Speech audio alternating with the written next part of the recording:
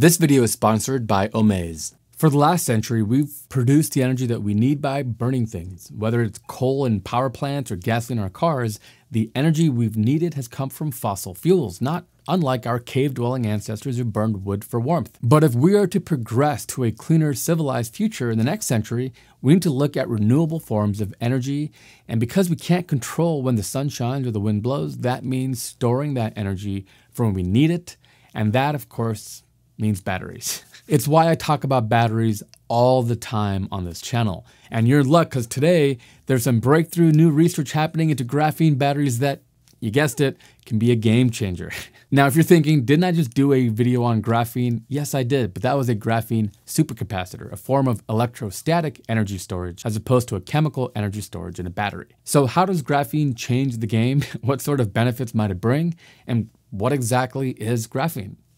Let's dive in. I believe batteries and battery research are one of the most important areas of science this decade. And graphene has long been heralded a miracle material that is stronger than steel, lighter than titanium, and better at transferring electricity and heat than copper. Graphene is a variation of carbon, but more specifically, it's a variation of graphite, that stuff inside your pencils. But unlike typical graphite or other forms of carbon, graphene is only one atom thick, which basically means it's a two-dimensional material. If you unfolded just one gram of graphene, it would have a surface area of nearly 2,700 square meters. What? Roughly the size of 10 tennis courts. Graphene also has a tightly bonded hexagonal honeycomb-like pattern. This shape gives it all sorts of unique properties because these electrons have so much space to move around. It's these properties that have elevated graphene to one of the most coveted materials on the planet. But it's graphene's unique electrical and thermal conductive properties that make it so attractive to battery researchers. To understand why that is, let's break down the different parts of a battery so we can better understand how different breakthroughs could help us with a better battery. At its core, a battery takes input energy and stores it to get output energy at a later time. If it helps, think about two water tanks, one on the floor and one on your roof. You could exert some energy and carry buckets of water from the floor tank and pour it into your roof tank. And then later when you need it, open a valve and let the water flow back down via gravity and power a water wheel. This is gravitational potential energy and we've basically built a gravity battery. But a gravity battery has really low energy density. You need like a hill and a massive amount of water to store any kind of energy this way. To power your phones or your cars, we need something much more energy dense like a chemical battery. In a conventional lithium ion battery, we have a few parts the cathode, the anode, a separator, an electrolyte, and electrodes for both the anode and the cathode to carry the electrons. Traditional lithium ion batteries have graphite anodes and various types of cathodes like NMO, nickel manganese oxide, or NMC, nickel manganese cobalt. In very broad strokes, cathodes are selected for their ability to attract an electron from lithium, leaving lithium ion a positively charged element missing one electron. When a battery is charged, this lithium ion travels through the electrolyte through the separator and gets intercalated or wedged into the graphite lattice in the anode. Speaking of wedging it in, there is a perfect segue to talk about our sponsor this week, Omaze. Enter now for your chance to win a custom Model S plaid that's been dialed up to a thousand by Unplugged Performance. With a carbon fiber brake kit, 19-piece carbon fiber wide body kit, and custom wheels, this takes Tesla's already top-of-the-line Model S that has over 1,000 horsepower, 396 miles of range, and seating for five, and a top speed of 200 miles an hour to new heights. I want one so bad. But you know the reason I love Omaze is because of the win-win, and here you'd also be supporting a great cause. The Juju Foundation is a non-profit organization dedicated to the support of youth initiatives by lifting spirits in those in need. Founded by Kansas City Chiefs wide receiver Juju Smith-Schuster, these initiatives include Juju's Great Bicycle Giveaway, which provides bicycles and locks to underserved youth, Juju's Children's Music Fund, which creates greater accessibility to music, and the Juju Foundation Scholarship Program, which will provide scholarships to students facing economic hardship. Just go to omaze.com slash 2bit to enter for your chance to win a custom Tesla Model S Plaid and support a great cause today. Huge thanks to Omaze and you for supporting the show. The first way we can improve on today's battery is by replacing the graphite in the anode with graphene. Graphite's hexagonal honeycomb structure means it takes six carbon atoms to hold onto one lithium ion. And this is what limits how much energy it can hold. Graphene, though still a hexagonal honeycomb lattice, is only one atom thick and able to hold lithium ions on both faces and even the edges. As a result, graphene has a theoretical capacity of 744 milliamp hours per gram compared to graphite at 372. Here is a chart of the mass of various parts of a lithium manganese oxide EV battery. 33% of the weight is cathode and 15% anode. If we use the theoretical values for graphene, we could reduce the weight of the anode by 6% to just 9% and use that extra mass now for the cathode instead, increasing it to 39% of the battery's total weight. And if we did that, we would increase the energy density by 18%.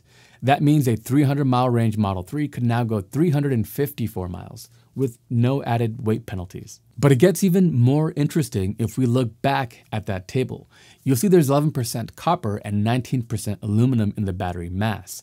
These are the electrodes and the outer casings of the battery and the current collectors where the electrons travel through. Aluminum is used on the cathode side, even though it's a worse electrical conductor than copper because copper reacts with lithium in adverse ways. And copper is used for the current collector on the anode side, as shown in this amazing animation by Jordan on his channel, The Limiting Factor. In fact, after this video, go check out his video he's made and you'll thank me later. So this gets to the next benefit of graphene, its electrical conductivity. The copper electrode is 200 times more electrically conductive than the graphite anode. But if we swapped the graphite anode for a graphene one, we might not need a copper current collector at all. That's because the entire graphene anode conducts electricity 333 times better than graphite or 68% better than even copper. So if we could get away from needing copper at all or even reduce the amount, that extra mass we saved could again go into more cathode and anode material. And with future research, we might be able to even use a graphene current collector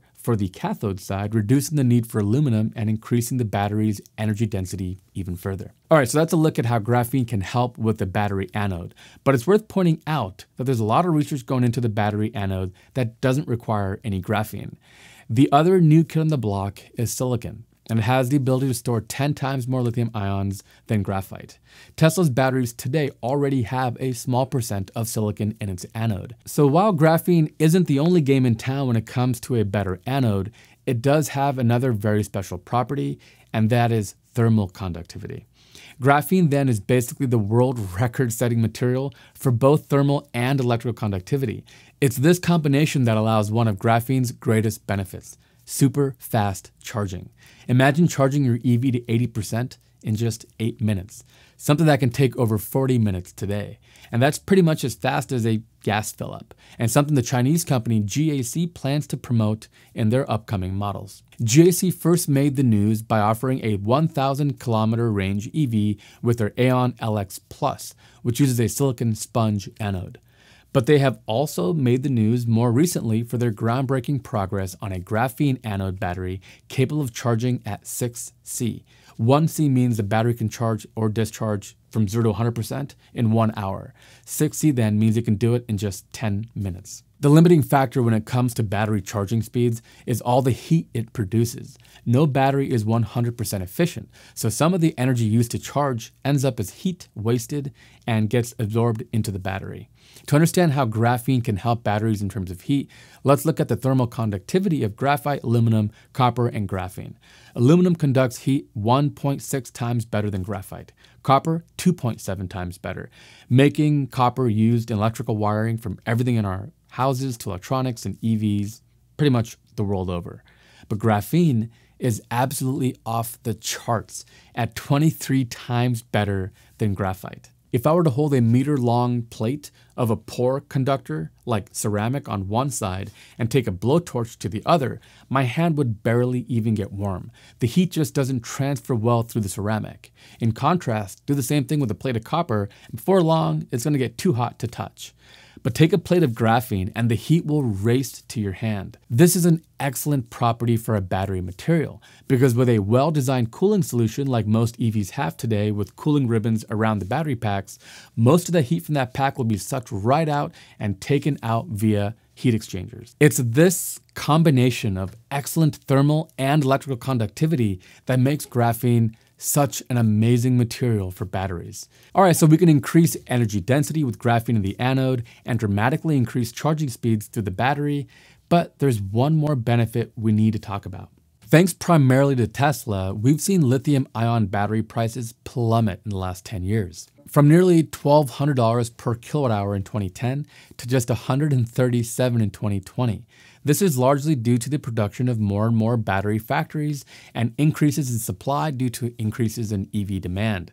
Again, primarily due to Tesla. But here's the thing while manufacturing lithium ion battery prices have been falling, the same can't be said for the price of raw lithium. The prices for raw lithium have been pretty steady in the same period, except for a small rise in 2018 until prices came back down in 2020. But since lithium prices have been absolutely soaring. Whether it's massive demand from all those EV manufacturers, the pandemic, or a host of other challenges, lithium supply will be the biggest challenge in the coming decades. It's not just the price, lithium is also not especially abundant on Earth. Here's a chart of crustal abundance in parts per million for some various elements. Graphite comes around 480 parts per million.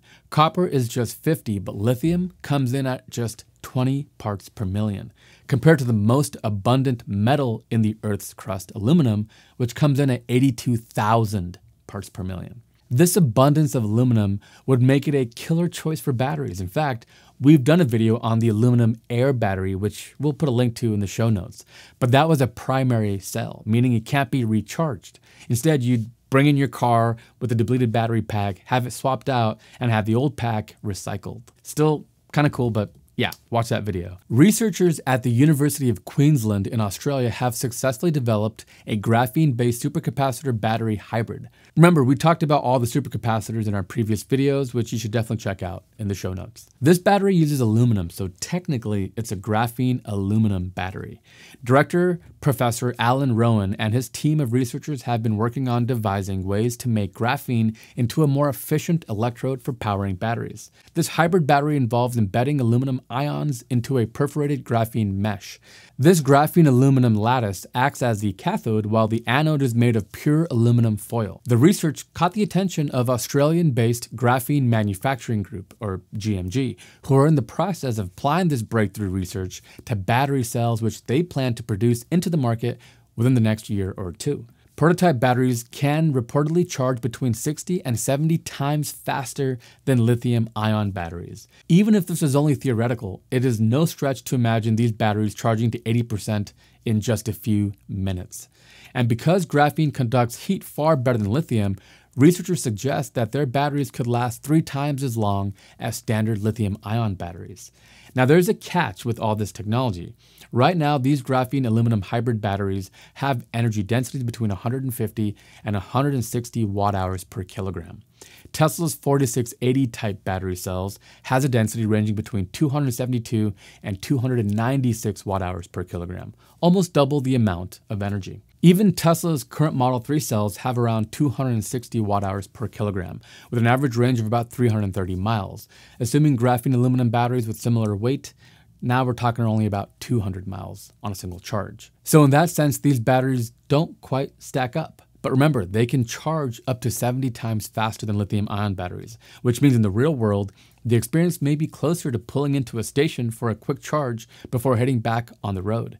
In fact, it may even be faster than filling up a gas car. This could make plug in EVs more accessible, especially for people who don't have access to home chargers. Plus, how about buses or commercial vehicles or cargo ships, where the added weight wouldn't really be much of a problem. As of June 2022, the company has commissioned its graphene aluminum ion batteries in a pouch cell format. Currently, their tech is being utilized at a pilot plant. While the batteries aren't going to hit the market just yet, these are major steps, meaning the technology is getting closer than ever. But it's not just the batteries themselves that are a big deal. As I said before, one of the biggest things keeping graphene from hitting the market is cost. One way GMG has worked around that is by developing methods for mass producing their own graphene. While the method is proprietary and therefore kept pretty tightly under wraps, their means of developing graphene brings the cost down significantly. Not only that, but the process could potentially be a win-win for the environment. Again, the exact process is a bit of a mystery, but according to the company, it involves a process that converts methane into hydrogen and graphene graphene, essentially a form of carbon capture. So then, there you have it. Graphene can revolutionize batteries in quite a few different ways and is being pursued by quite a few different companies. Ditching rare metals like lithium and cobalt in favor of aluminum would be a game changer for battery design, and it would all but render fossil fuels obsolete. But the great big elephant in the room is how are we going to produce enough graphene at commercial scale? Is the research being done today going to lead to a future where graphene is as common as graphite? Or will graphene costs and supplies always keep it out of reach? Sadly, this, as it ever has been, is the great unknown of graphene. But before you leave a comment saying graphene will never be a thing, just remember that's what everyone said about everything until it wasn't.